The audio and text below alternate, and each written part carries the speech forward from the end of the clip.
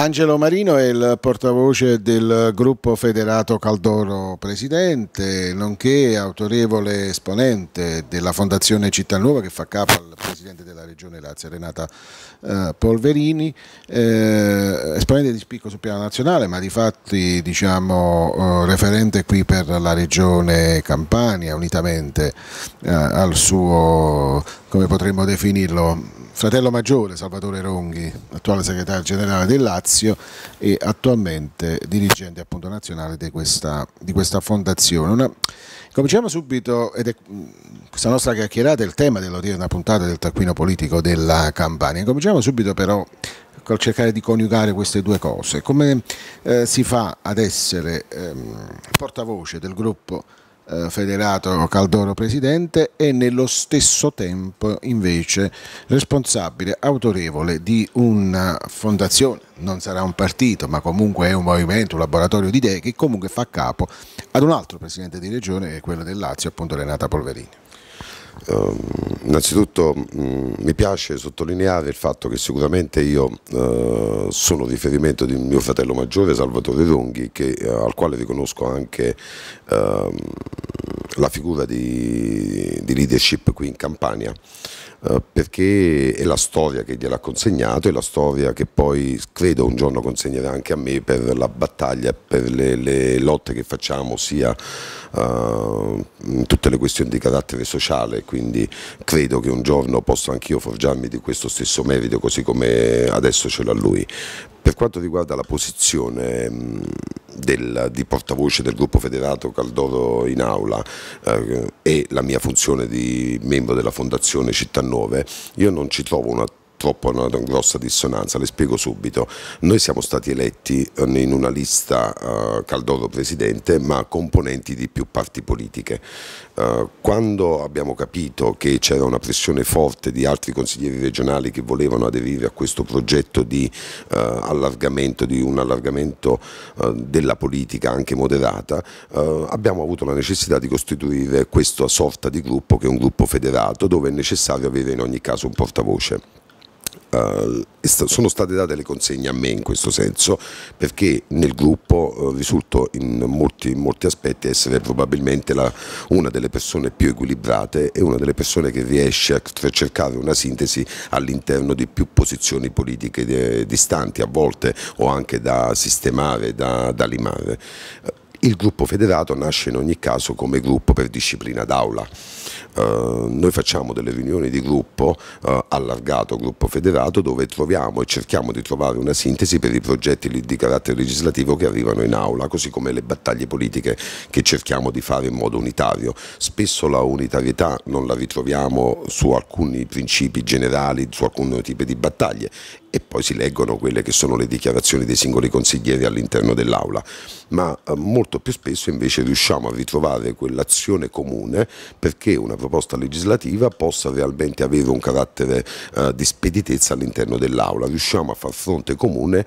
in quelle cose che noi crediamo, in quelle cose che abbiamo ragionato e abbiamo messo insieme. Non a caso il gruppo federato eh, ha partorito una, so, una, serie di leggi da portare in aula, di progetti di leggi da portare in aula e su quelle leggi eh, ci siamo divisi i compiti anche nelle commissioni perché il lavoro di un consigliere regionale, diciamoci la verità, se lo vuoi fare veramente, lo vuoi fare per bene, ehm, è abbastanza faticoso, devi ascoltare le parti sociali, devi ascoltare le persone, devi tramutare quelle che sono le idee in una proposta legislativa, poi la devi scrivere, la, devi riportare nelle commissioni, convincere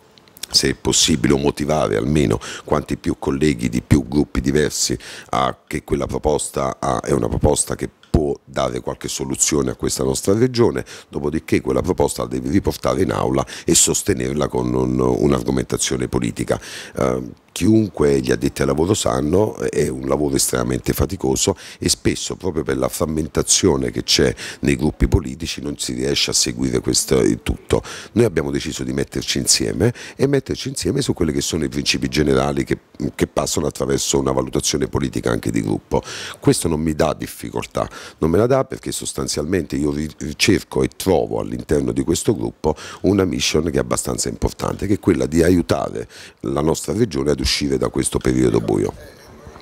abbiamo detto che comunque ci sono due riferimenti concreti di questo lavoro che fanno capo diciamo, ai due vertici istituzionali di due regioni, abbiamo parlato di Caldore e abbiamo parlato della Polverini. Ecco, è, è ipotizzabile in un qualche modo che questi due presidenti, unitamente agli altri tra virgolette, uomini di buona volontà, possono in un qualche modo ricercare in questo momento dove la politica latita, dove le, le, le forze politiche non riescono più a raccogliere la testimonianza della gente, la testimonianza viva. Ecco, questi che sono espressioni di vertici istituzionali in un qualche modo possono mettersi assieme per cercare di recuperare diciamo, questo gap sempre più ampio tra politica, cioè quindi tra paese regale e paese reale. A parte l'auspicio che ognuno di noi si pone, speriamo, eh, il punto è che eh, entrambi esprimono una linea politica abbastanza importante, eh, però io dico, eh,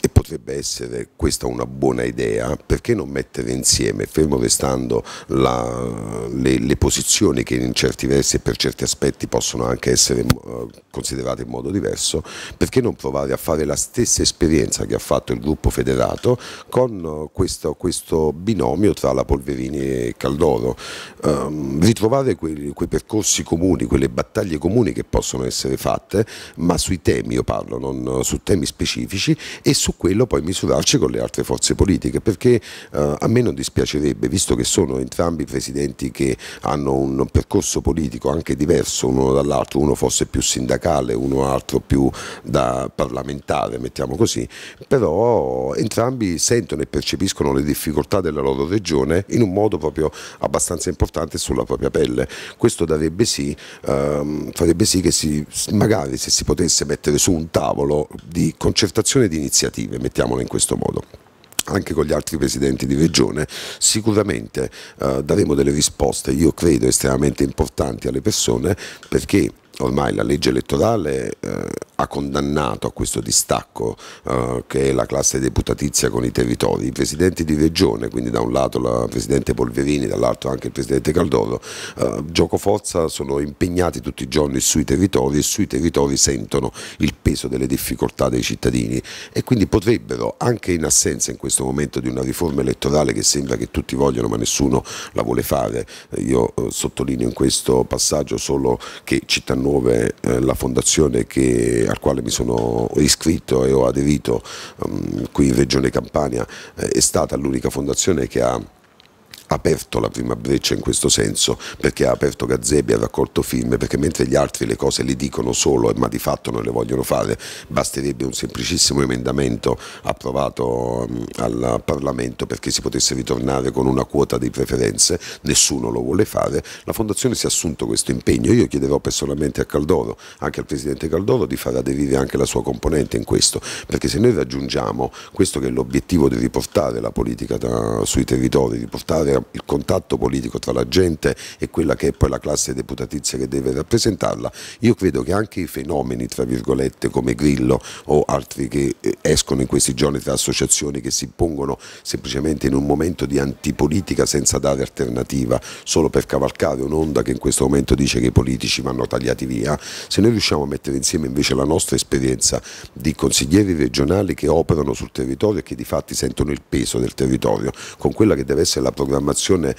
parlamentare per il prossimo anno, probabilmente, probabilmente avremo raggiunto innanzitutto un buon risultato, che è quello che la gente può iniziare a riconsiderarci, a capire che chi veramente lavora ha diritto ad esprimere le proprie idee, lo fa nel modo migliore e soprattutto lo fa come sintesi di quello che è un'esigenza di un territorio che, ripeto, sia la regione Campania, ma uguale dicasi per la regione Lazio, è stato per anni martoriato da una classe politica che io ritengo estremamente inadeguata a rappresentarlo. Bene, in bocca al lupo per le iniziative che la Fondazione porrà in essere in questo lasso di tempo, ma soprattutto per,